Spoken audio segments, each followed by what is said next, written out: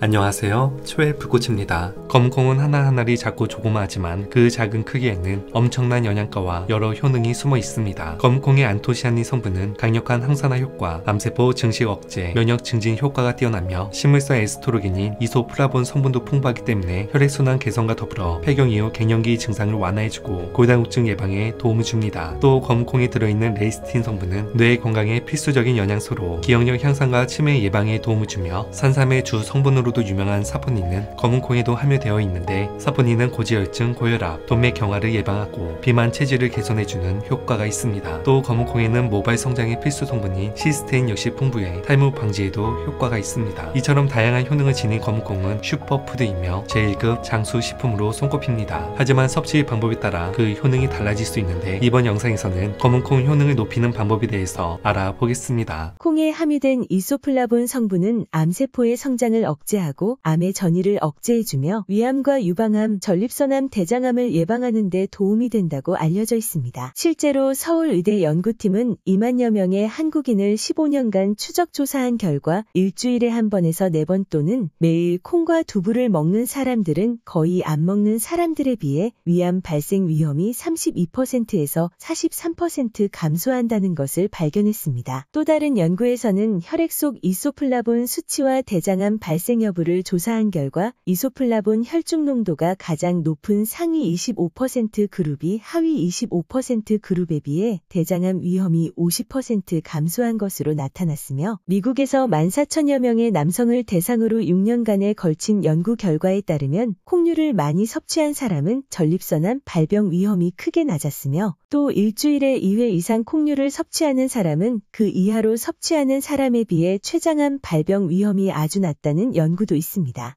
뿐만 아니라 이소플라본 성분은 골다공증 예방에도 도움을 줍니다. 폐경기 여성의 경우 에스트로겐이 급감함에 따라 골밀도가 낮아지고 골다공증이 많이 발생하게 되는데 에스트로겐과 유사한 구조인 콩 이소플라본을 섭취하면 파골세포의 뼈 재흡수를 억제하고 고라세포의 뼈 형성을 촉진해 골밀도를 증가시키는 것으로 알려져 있습니다. 하지만 암 예방과 골다공증 예방에 도움을 주는 콩 속 이소플라본은 조리 방식에 따라 함량이 달라지게 됩니다. 숙명여대 식품영양학과 연구 결과에 따르면 콩을 볶았을 때 이소플라본 함량이 가장 컸습니다. 연구팀은 검정콩의 한 종류인 쥐누니 콩을 볶고 삶고 찌고 압력가열하는 네 가지 방법으로 조리했습니다. 구체적으로 200도의 팬에서 5분간 저으며 볶고 불린 콩을 냄비에 넣어 16분간 삶고 불린 콩을 채반 있는 찜 냄비에 넣어 찌고 불린 콩을 압력 냄비에 넣어 125도에서 5분간 가열했습니다. 그 결과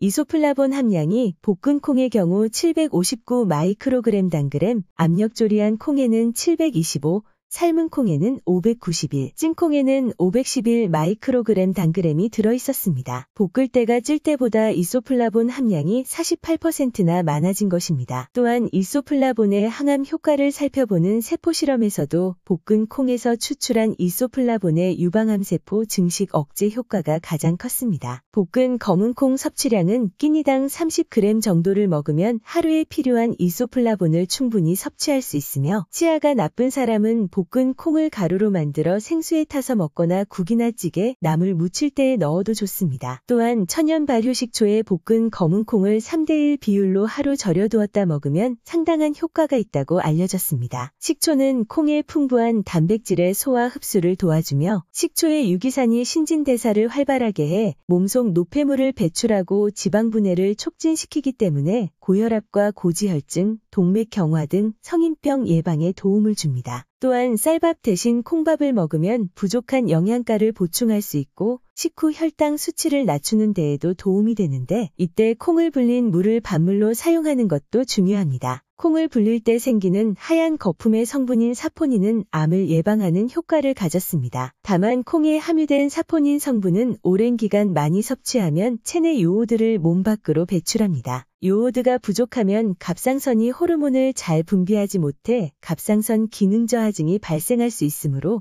미역, 다시마와 같은 요오드가 풍부한 해조류와 콩을 함께 먹으면 체내 요오드의 균형을 맞출 수 있습니다. 또 콩밥은 백미 대신 현미를 이용하는 것이 좋습니다. 쌀결을 정제하지 않은 현미에는 암을 예방하는 효능이 있으며 여기에 콩을 섞어 현미콩밥 형태로 섭취하면 더 큰 항암 효과를 기대할 수 있습니다. 또 현미밥을 지을 때는 소주 두 잔 정도를 넣어주면 현미 속 폴리페놀 성분이 더 빠져나오게 됩니다. 실제로 한 연구에서 알코올을 넣은 현미밥이 순수한 물을 넣었을 때보다 폴리페놀 함량이 17% 증가했다는 연구 결과가 있습니다. 폴리페놀은 대표적인 항산화 영양소로 혈액순환 개선과 염증 완화에 도움이 되며 현미밥을 지을 때는 압력밥솥보다는 일반 밥솥을 사용하면 고온에 의한 영양성분 파괴를 줄여 폴리페놀 함량을 높이 는 데 도움이 됩니다. 이처럼 검은 콩은 하나의 식품일 뿐이지만 그 속에는 무궁무진한 힘이 담겨 있으며 같은 재료라도 단순히 조리법만 바꾸는 것만으로도 여러 질병을 예방할 수 있습니다. 이번 영상이 도움이 되셨길 바라며 늘 아프지 않고 행복한 순간들이 끊임없이 이어졌으면 좋겠습니다.